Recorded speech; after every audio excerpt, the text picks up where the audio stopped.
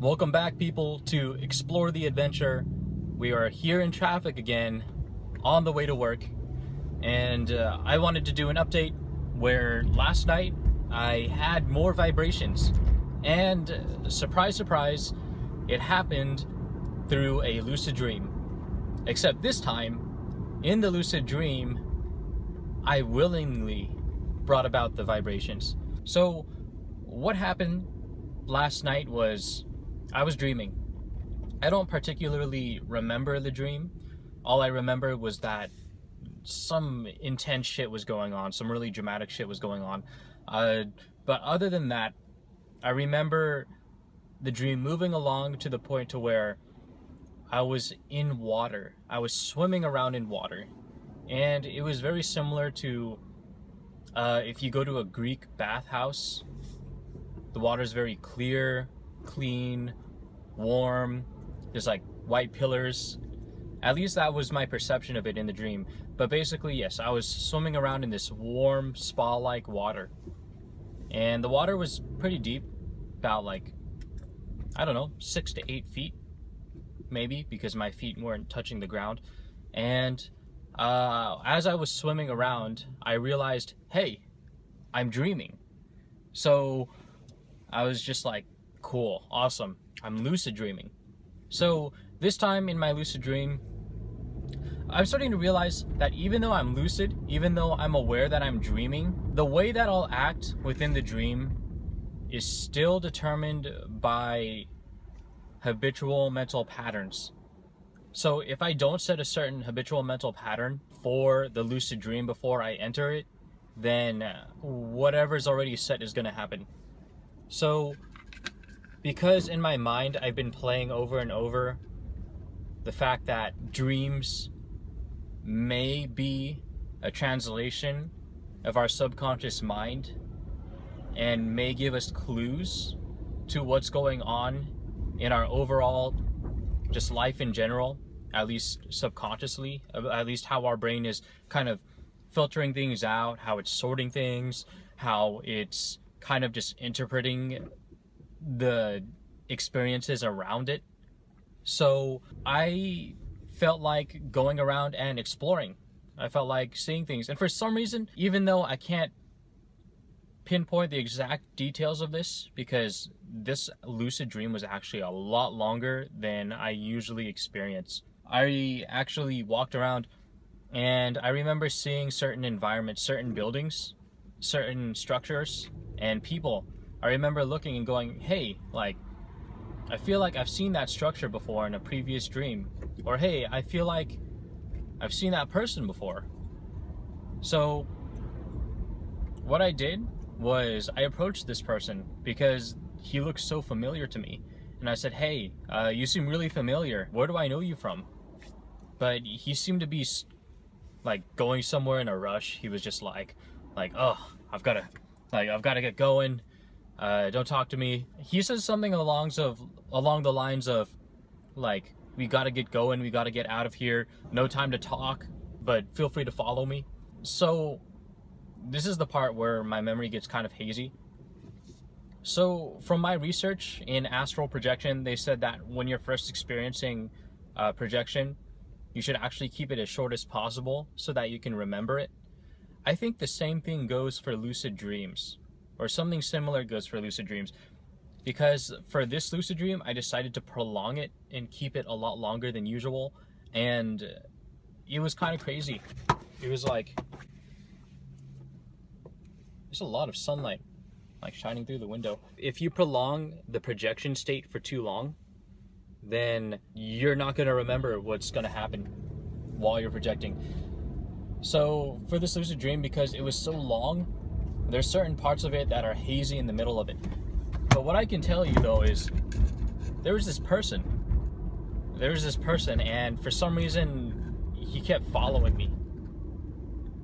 He kept following me, and I would have to, like, I would have to defeat him. I would have to kill him, but the thing was, he couldn't die. So every time I defeated him, like, he'd be, like, lying there. I'd run away, and then he would just regenerate or something and then he'd come back. Later on in the dream, that's when I saw the guy who I found familiar, or maybe it was before. You know what? This is really hazy. I'm trying my best to relate this dream over to you guys, girls, people. So not only is this guy chasing me, but there's this other guy that I'm kind of following.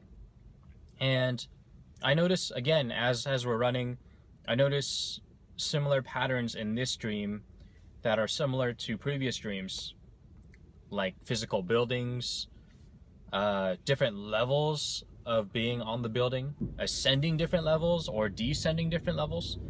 Because as we were running, the major thing that I remember is jumping through an escalator or jumping down an escalator, like kind of going deeper and deeper. Eventually, as we keep running, as we keep running, I reach the bottom, and then there's another person there to greet me saying, like, like, okay, this is as far as we can take you right now. Uh, but you're gonna have to go alone from here, but you can do it. Something like that. And it was like, I don't know, there was just this, this kind of big, fat, warm guy telling that to me. Yeah, this is, yeah, it's it's really random. But uh, he seemed to be some elder of some sort. But, anyways, as I move out of the building, I enter this scene where I'm actually at a beach. Right when I'm at the beach, I realize, you know what? For some reason, I got the feeling that the dream was over, that the lesson in the dream was over. So I said, hey, I'm gonna try to astral project now, now that the lucid dream is over. So, what I did, all I do is focus. All I do is create an intention to project whenever I'm in a lucid dream. It's like a certain feeling. When you're meditating, you're basically shifting different gears of consciousness. I think I said this in my previous video. So, what I did was I shifted my gear of consciousness to a point to where not only I was a bit more awake, but I was also focusing on, I guess you can call it your third eye, you can call it your pineal gland, but I was focused on that area. And as I was focused on that area in the lucid dream, as I slowly woke myself up, then, bam, the vibrations came out again. And again, it wasn't as intense as the first time but I could still feel it ringing throughout my head, throughout my body, and it was, it was, it was cool. It was just like, hey, this is the third time I've done this. This is great. So, yeah, it's it's ringing throughout me, and well, I feel like I was a bit more impatient this time because I wasn't able to see anything. Plus, this is this is different because the previous two times that I've been able to achieve the vibrational state through the dream state, it was during an afternoon on the weekend. Now, this was actually on a Sunday.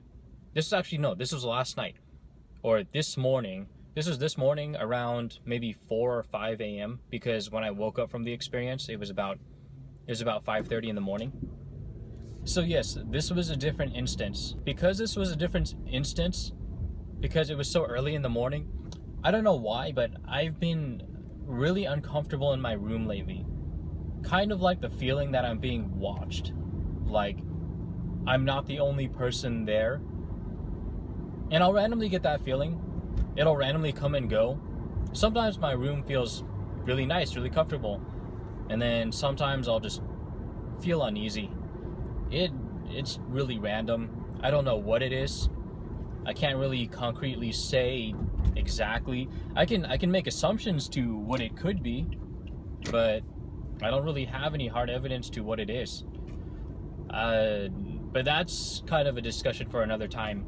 But anyways, because of that, I was as I was going through the vibrational stage, even though I said clarity now, even though I said allow me to see my room right now, I couldn't see anything. It was really dark. Or maybe, maybe I did, maybe I did leave my body for a bit.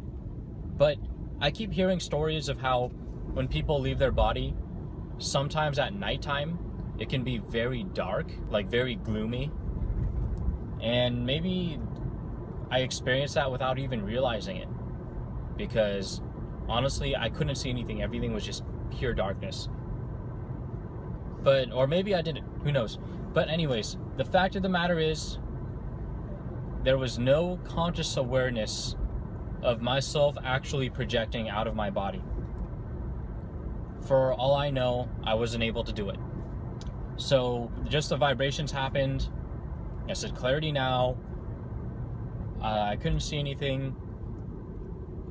The vibrations faded away, and then I was just back in my bed. But while I was doing that, I was also feeling a sense of fear, a sense of, oh my God, what if I see something horrifying, or what if I see something like really traumatizing? I was feeling that again. So that's probably also what kept me inside of my body, just that feeling of fear. Because I don't want to leave my body at four in the morning and see some weird shit staring back at me and then having that haunt me in my waking days. But shit, like I hate saying this, but if I keep astral projecting, some shit like that is inevitably going to happen. At least once. I hate saying that, but I have to, I'm to keep trying. So next time, next time what I'm going to try to do is I'm to wait for the vibrations to actually ebb away and fade away instead of actually thinking about it. I'm going to try and relax into the vibrations. And then as the vibrations slide away and kind of ebb away, that's when I'll say clarity now. That's when I'll make an intention or feel the intention to slowly kind of move outwards. Oh, yeah. I've also bought Robert Monroe's book, Journeys Out of the Body. And uh, so far, I've read the first couple chapters. It's pretty fucking amazing. It's so cool. Anyways, time for me to go. I'm almost at work. I will update you next time. Thanks for tuning in. Peace.